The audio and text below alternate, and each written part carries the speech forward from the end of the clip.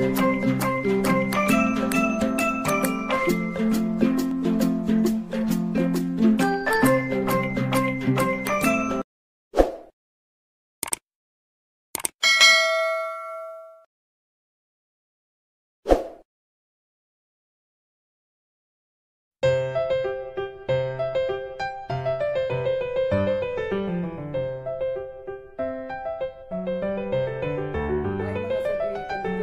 po ako upang turuan kayong gumawa ng ribbon na pangregalo at saka sa pwedeng ilagay sa fresh flower bouquet.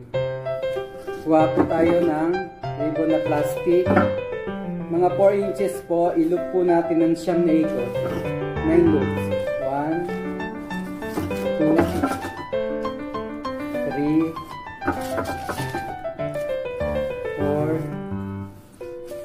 4, 5, 7, 8, 9. Pagtapos kung may ikot, kuhain po natin sa gitna. Itupi po natin ng uso pero huwag nyo po masyadong tikpitan. Ikat nyo po ng pa sla- slant na ganyan, pa triangle, parehong side. Ganun din po sa kabila. Make sure na hindi po matatama at para hindi mapatid po yung ano, yung gagawin po nating ribbon. Ganyan po magiging itsura niya. Tapos, kuhain niyo po yung gitna, hanapin niyo yung gitna. Tapos, pag combine ninyo, magmimit yun dyan. Tsaka niyo po itali ng manipis.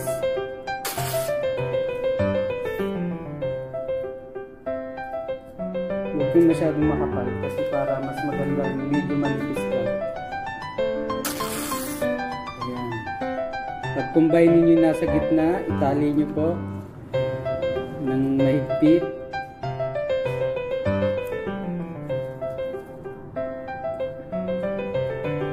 Mga dalawa, okay na po. Tapos yung mga excess po ay uh, gupitin natin. Ayan po ang kalalabasan niya. Tapos, ayun, may excess pa pala. Putulin natin. Tapos, ibuka po natin ng ganyan. Kanan, kaliwa. In different direction po. Magpo-form po siya ng bulaklak na ribbon. Ayan po. Tapos yung kabila na naman, ayan, nakikita nyo na po yung form niya. Nagbubulaklak na ribbon na po siya. Basta in different direction po. Ayan, ganyan po.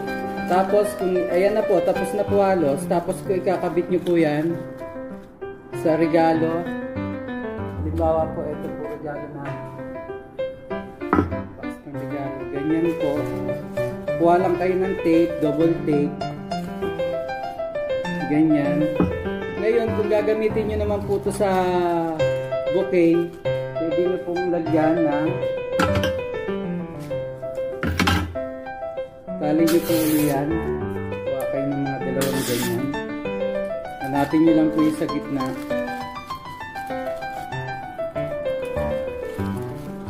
Yan, ganyan nyo po.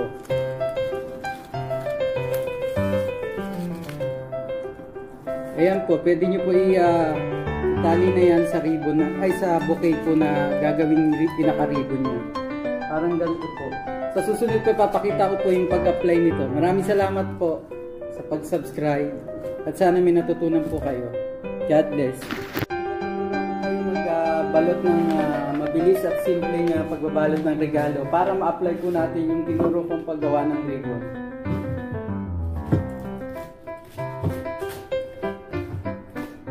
Kung mga regalo nyo ay ah, ganito ang form na rectangle.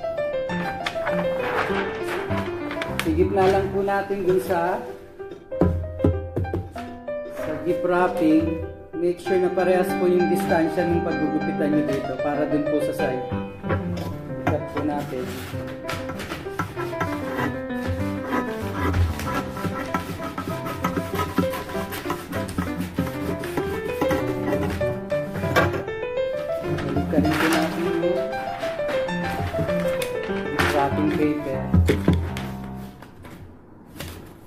Tignan nyo po yung parehong ah, distansya ng box ng regalo. Tupuin po natin papaganon at i-tape. Ganyan po.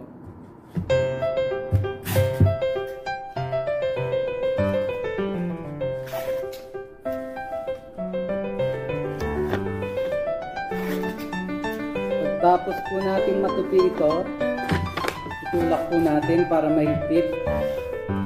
Kuhain niyo po yung kabilang side ng gift wrapping. Ayan po. Hapitin po natin tapos tandaan niyo po yung pinaka-tip ng ah, box para malaman natin ayan.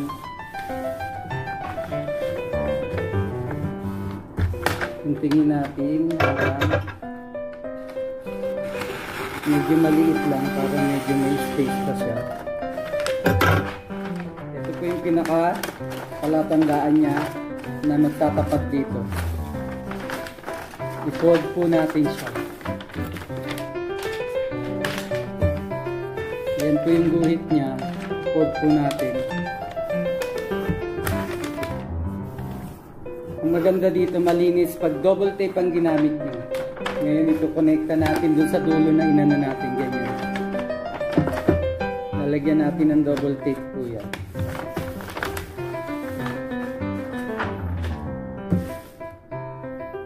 Kung ano lang po yung sukat ng box ng regalo hanggang doon, yun lang po ang gamitin natin.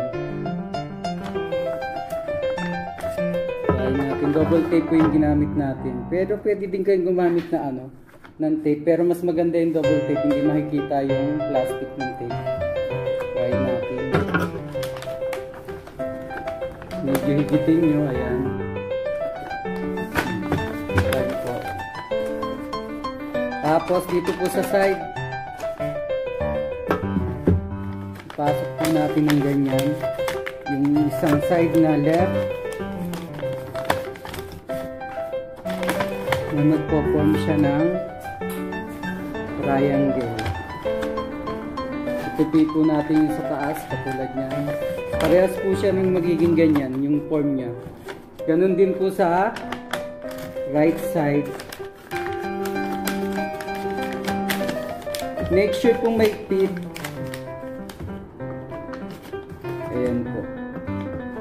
Magiging form niya ay triangle.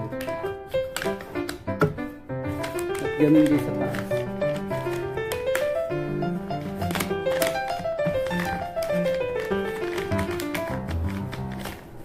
Pagtapos pong matupi, ayan, ganyan po magiging itsura niya. I-tape po natin siya.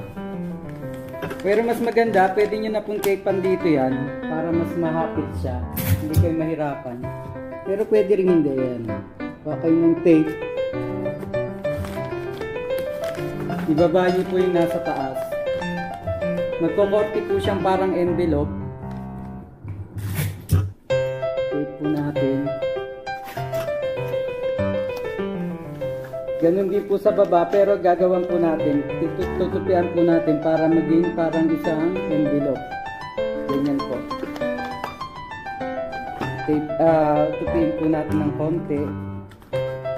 Tapos kuha po tayong double tape.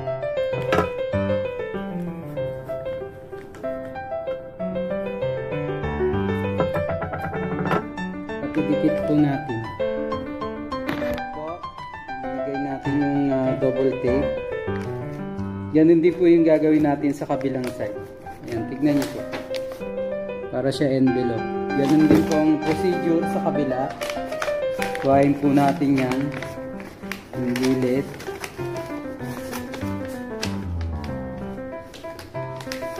Fold natin yan sa taas at sa baba. Tape natin para maghapit. Tapos sa right side din.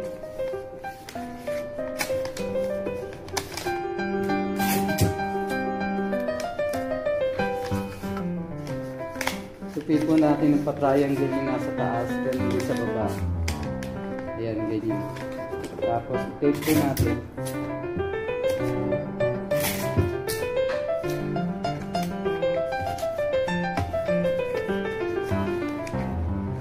Konting tupi po para mag-14 envelope. Ayan. Ayan.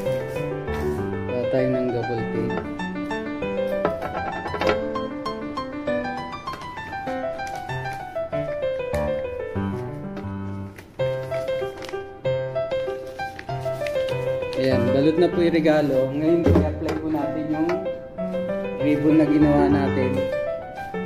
Una, gawan po natin ng design ng pangregalo.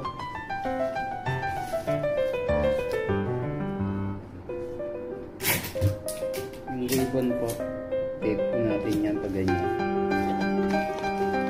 Ikot po natin ganyan. Magmi-meet up siya. Kaya sa gitna.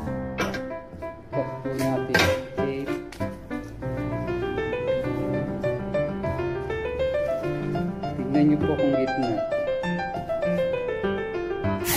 Tape natin. Ipapakross natin yan. Cross yung dito.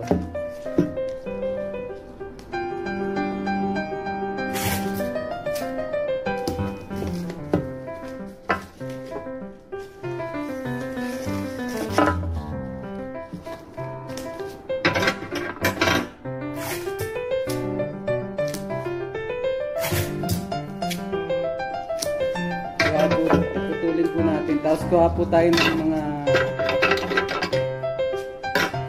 mga 6 inches po na ganyan. Kaya gawin po nating tail. Parang buntot po ng uh, po natin na ganyan. Tapos po natin. Dalawa po siya. Magiging dalawa.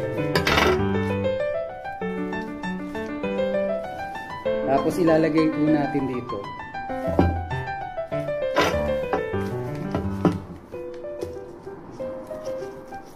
Ganyan po yung kakalabasan niya.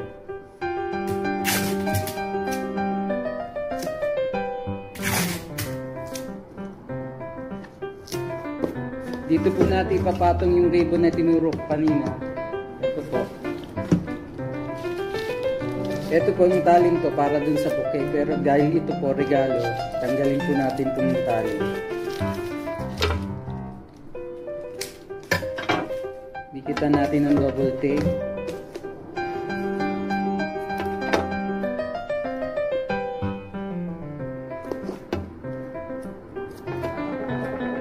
Mga tatlo po pwede na siguro.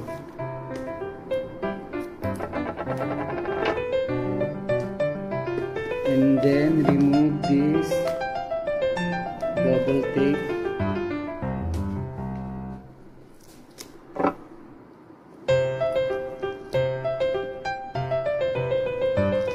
Yan po natin didikit yun.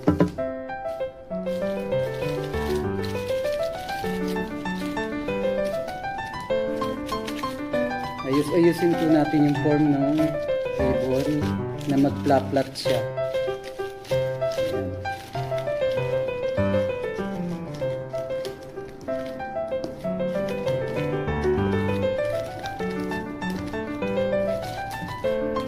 Ayan po, tapos na.